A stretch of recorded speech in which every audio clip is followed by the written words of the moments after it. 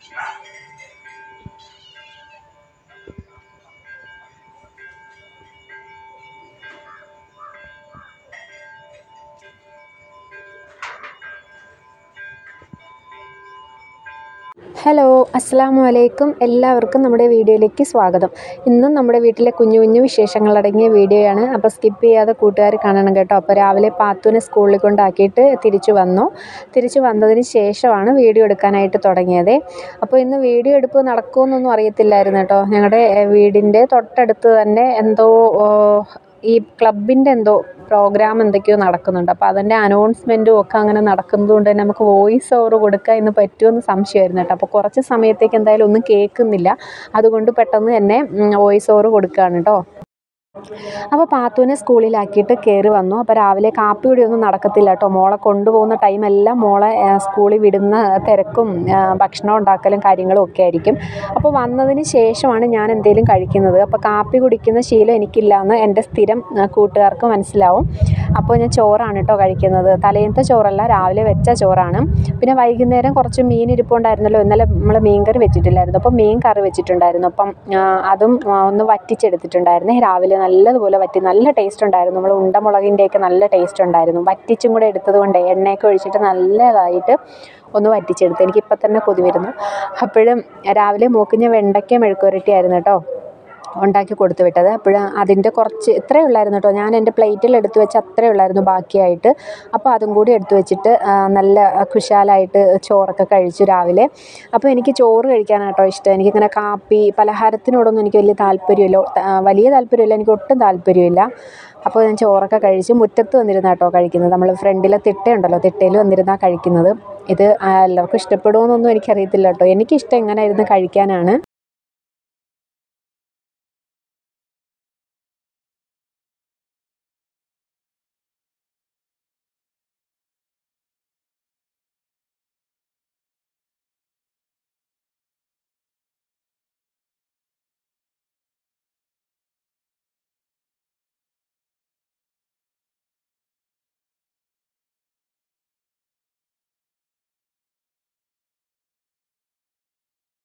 അങ്ങനെ ഭക്ഷണമൊക്കെ കഴിച്ചിട്ട് ഇനി അടുക്കളയിലേക്ക് പോകാം കേട്ടോ ഇനി കറികളൊക്കെ വെക്കണം. മീൻ ഇരിപ്പുണ്ട് കേട്ടോ. ഇന്നലെ നമ്മൾ കുറച്ചേ എടുത്തിട്ടുള്ളൂ. കുറച്ച് ഇരിപ്പുണ്ട് ഇനി അയല ഇരിപ്പുണ്ട്. അതെടുത്ത് കറി വെക്കണം.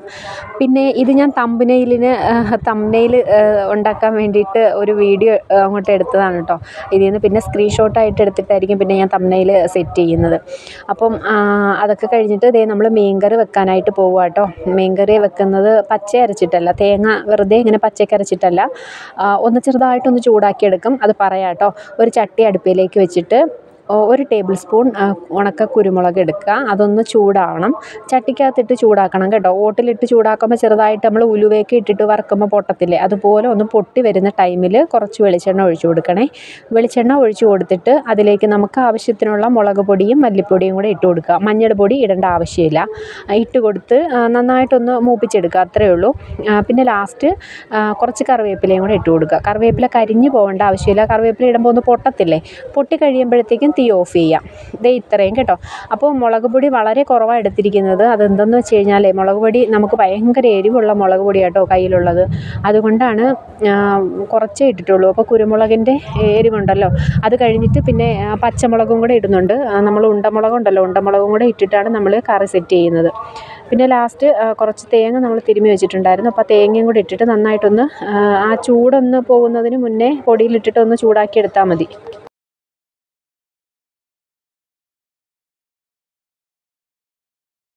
അപ്പോൾ മഞ്ഞപ്പൊടി ഇട്ട് കൊടുത്തിട്ടില്ല കേട്ടോ മഞ്ഞപ്പൊടി ഉലുവയൊന്നും ഇട്ട് കൊടുത്തിട്ടില്ല. മഞ്ഞപ്പൊടി നോക്കിയപ്പോഴേ ടിന്നിലില്ലായിരുന്നു കേട്ടോ ടിന്നിൽ തീർന്നിട്ടുണ്ടായിരുന്നു. പിന്നെ ആ ടിന്നാണെങ്കിൽ കഴിഞ്ഞ പ്രാവശ്യം ഞാൻ എന്തിനോ മഞ്ഞപ്പൊടി എടുത്തിട്ട് അടുപ്പിന്റെ തിട്ടയിൽ തന്നെ അങ്ങ് വെച്ചിട്ട് എടുത്ത്. മാറ്റാനായിട്ട് മറന്നു എപ്പോഴും ഒരു ഭാഗം അങ്ങനെ ഉരുകി ഉരുകിയിട്ട് അതിനിനി ഇട്ടിട്ടും കൊള്ളത്തില്ല. അതുകൊണ്ട് ഞാൻ ഈ ബോട്ടിലങ്ങ് മാറ്റിയിട്ട് വേറൊരു കുപ്പിക്കകത്തേക്ക് ഇടാമെന്ന് വിചാരിച്ചു കേട്ടോ ഇവിടെയാണെങ്കിൽ ചെറിയ ചെറിയ കുപ്പികൾ കിടപ്പുണ്ട്. തൈര് മേടിക്കുന്ന കുപ്പിയുടെ ഇഷ്ടം പോലെ ഉണ്ട് കേട്ടോ മിക്ക അതായത് രണ്ട് ദിവസം രണ്ട് ദിവസത്തിൽ കൂടുമ്പോഴെങ്കിലും ഇവിടെ തൈര് മേടിക്കേണ്ട ആവശ്യമുണ്ട്. വാപ്പ ആണെങ്കിൽ ഇങ്ങനെ വെറുതെ സംഭാരം പോലെയൊക്കെ കലക്കി കുടിക്കും കേട്ടോ. ഭയങ്കര ഇഷ്ടമാണ് വാപ്പാക്ക് ഇങ്ങനെ സംഭാരം പോലെ കലക്കി ഞങ്ങ- ഞങ്ങളിങ്ങനെ രാവിലെ വെച്ചിരിക്കും. അപ്പോൾ അതിങ്ങനെ രാവിലെ കലക്കി വെച്ചിരിക്കും കേട്ടോ. നല്ല ഉണ്ടമുളകും ഇഞ്ചിയൊക്കെ ഇട്ടിട്ട് ഒന്ന് ചതച്ചിട്ട് ആ വെള്ളത്തിൽ നമ്മൾ മോരും വെള്ളത്തിൽ കലക്കി വെച്ചിരിക്കും. അപ്പോൾ ഇവിടെ എല്ലാവരും കഴിക്കും. ഞാൻ മാത്രം കുടിക്കത്തില്ല കേട്ടോ എനിക്ക് ഇങ്ങനെ തലവേദന ഉള്ളതുകൊണ്ട് തൈരൊന്നും എനിക്ക് അത്രയ്ക്ക് പറ്റത്തില്ല.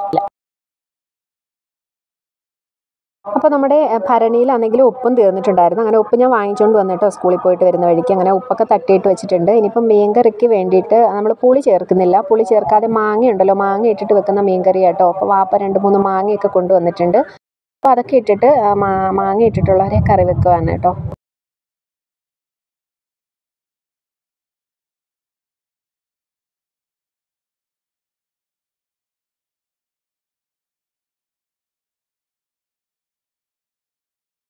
അങ്ങനെ രണ്ട് മാങ്ങയൊക്കെ അങ്ങോട്ട് അതിന്റെ തോലൊക്കെ കളഞ്ഞിട്ട് ചെത്തി എടുത്തിട്ടുണ്ട്. പിന്നെ ഒരു തക്കാളിയുടെ പകുതി എടുത്തിട്ടോ മാങ്ങ ഇടുന്നതുകൊണ്ട് തക്കാളി അധികം വേണ്ട. അതുകൊണ്ട് ഞാൻ അരമുറി തക്കാളി എടുത്തിട്ടുണ്ട്. പിന്നെ കുറച്ച് ഉണ്ടമുളകും കൂടെയൊക്കെ അരിഞ്ഞെടുത്തിട്ടുണ്ട് കേട്ടോ. ഇതിനിടയ്ക്ക് നമ്മൾ അരപ്പൊക്കെ അരച്ച് വെച്ചിട്ടുണ്ടായിരുന്നേ. ഒന്ന് ചൂടാറിയതിന് ശേഷം അരപ്പൊക്കെ അരച്ച് വെച്ചിട്ടുണ്ടായിരുന്നു.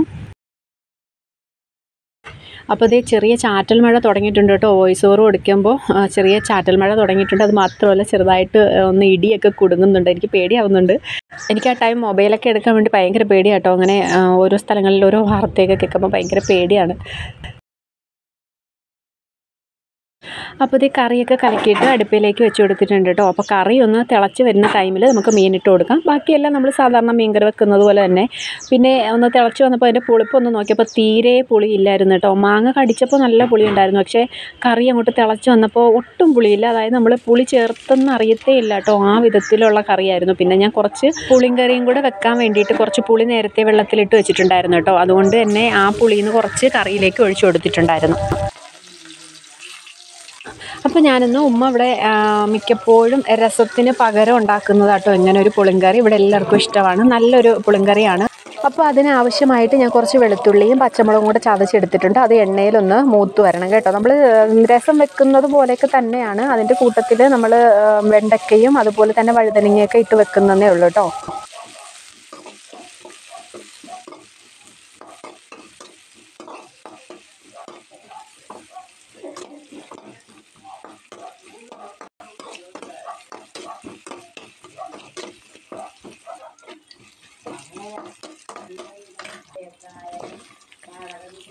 അപ്പോൾ വെളുത്തുള്ളിയും പച്ചമുളകും ഒന്ന് മൂത്ത് വന്നപ്പോൾ അതിലേക്ക് ഒരു സവോള അരിഞ്ഞത് ഇട്ട് കൊടുത്ത് അതൊന്ന് ഇട്ട് വഴറ്റിയിട്ട് നമ്മൾ അരിഞ്ഞ് വെച്ചിട്ടുള്ള തക്കാളി വഴുതനങ്ങ അതുപോലെ വെണ്ടയ്ക്കയും കൂടെ ഇട്ട് നന്നായിട്ടൊന്ന് വഴറ്റിയെടുക്കുക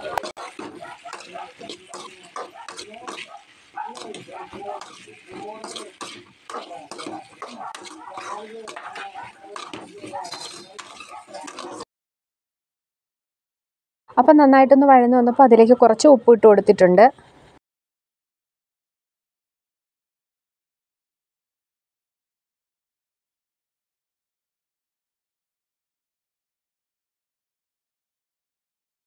അപ്പോൾ ഇതിലേക്ക് കുറച്ച് മഞ്ഞൾപ്പൊടി ഇട്ട് കൊടുക്കുന്നുണ്ട് കേട്ടോ.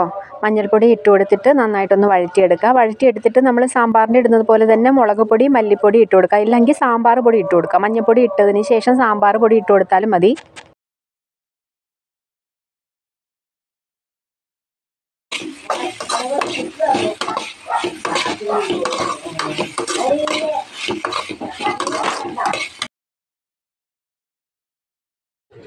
അപ്പോൾ മുളക് പൊടി മല്ലിപ്പൊടി ഇട്ടിട്ട് നന്നായിട്ടൊന്ന് ചൂടാവണം കേട്ടോ. പച്ച പച്ച ചവയ്ക്കുന്ന സമയത്ത് നമ്മൾ പുളി ഒഴിക്കരുത്. നല്ലതുപോലെ ആ കഷ്ണങ്ങളിൽ കിടന്നിട്ട് ആ മസാല അതിലേക്കൊന്ന് പിടിക്കുന്ന രീതിയിൽ വരെ നമ്മളൊന്ന് ചൂട് ഇട്ട് കൊടുക്കണം.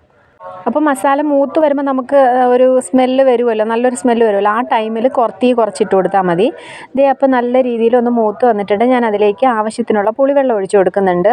ആവശ്യത്തിനുള്ള വെള്ളവും കൂടെ ഒഴിച്ചു കൊടുക്കുന്നുണ്ട് കേട്ടോ. ഇനിയിപ്പോൾ ഇതിലേക്ക് കായപ്പൊടി ഇട്ട് കൊടുത്തിട്ട് ഒന്ന് തിളപ്പിച്ചെടുത്താൽ മതി. അപ്പോൾ ഇത് സാമ്പാർ പോലെ തന്നെയാണ്. പക്ഷെ നമ്മൾ പരിപ്പോ ഉഴുന്നോ അങ്ങനെ ഒന്നും ചേർക്കുന്നില്ലെന്നേ ഉള്ളൂ കേട്ടോ. സാമ്പാർ പോലെ. പക്ഷെ സാമ്പാറിന്റെ ടേസ്റ്റ് ഒന്നുമല്ല സാമ്പാറിന്റെ ഒരു ടേസ്റ്റും ഇല്ല കേട്ടോ. നമ്മൾ പുളിങ്കറി ഉണ്ടല്ലോ. നമ്മൾ രസം വെക്കത്തില്ലേ? രസത്തിന്റെ കൂടെ കുറച്ച് കഷ്ണങ്ങളൊക്കെ കിടന്നാൽ എങ്ങനെ? അത്രയേ ഉള്ളൂ. അല്ലാതെ സാമ്പാർ സാമ്പാറിന്റെ ഒരു ടേസ്റ്റും ഇല്ല കേട്ടോ. ഇത് പുളിങ്കറി എന്നാണ് ഞങ്ങൾ പറയുന്നത്.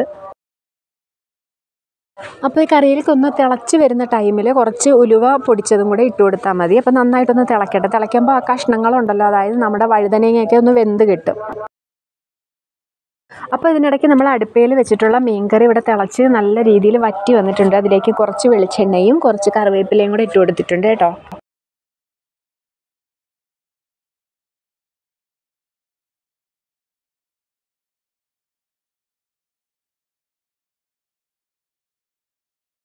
അപ്പോൾ ഇതേ നമ്മുടെ പുളിങ്കറി ഇവിടെ വറ്റി വന്നിട്ടുണ്ട്. വഴുതനങ്ങയൊക്കെ നല്ല രീതിയിൽ വെന്ത് ഉടഞ്ഞിട്ടുണ്ട് കേട്ടോ. അപ്പോൾ കുറുകിയിട്ടുണ്ട്. ഒന്ന് കുറുകി വന്നിട്ടുണ്ട്.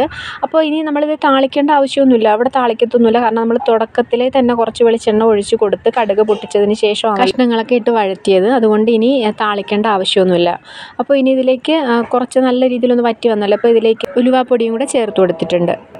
അപ്പോൾ മല്ലിയിലയൊക്കെ ഉള്ളവർക്ക് മല്ലിയില ഇടാം. ഞാൻ ഇതിൽ കുറച്ച് അനമല്ലി അതായത് ആഫ്രിക്കൻ മല്ലി ഉണ്ടായിരുന്നു. അത് രണ്ട് മൂന്ന് ഇല ഇട്ട് കൊടുത്തിട്ടുണ്ട്. അപ്പോൾ നമ്മുടെ കറി ഇവിടെ റെഡി ആയിട്ടുണ്ട്. ഇതിനിടയ്ക്ക് ഞാൻ അവിയലും കൂടെ ഉണ്ടാക്കിയിട്ട്. അവിയൽ എന്ന് പറയുന്നത് നമ്മളെ പച്ചക്കായ ഉണ്ടല്ലോ. മലക്കറിയിൽ കിടക്കുന്ന പച്ചക്കറി കിടക്കുന്ന കായയും ചേനയും ഒക്കെ ഇട്ടിട്ടൊന്ന് ഉടച്ച് ഒരു അവിയൽ അവിയൽ വരുമോ എന്നൊക്കെ പറയാം. ഒന്ന് ഉടച്ച് വെച്ചിട്ടുണ്ടായിരുന്നു കേട്ടോ. അപ്പോൾ നമ്മുടെ ഉച്ചക്കലത്തെ ഊണ് ഇതാണ്. മീൻകറിയും പുളിങ്കറിയും പിന്നെ നമ്മുടെ അവിയലും എല്ലാം അവിടെ റെഡി ആയിട്ടുണ്ട്. അപ്പോൾ ഇത്രയേ ഉള്ളൂ നമ്മുടെ ഇന്നത്തെ വിശേഷം. കൂട്ടുകാർക്ക് ഇഷ്ടപ്പെട്ടിട്ടുണ്ടെങ്കിൽ ലൈക്ക് ചെയ്യാൻ മറക്കണ്ട. അപ്പോൾ നാളെ മറ്റൊരു വീഡിയോ ആയിട്ട് കാണാം.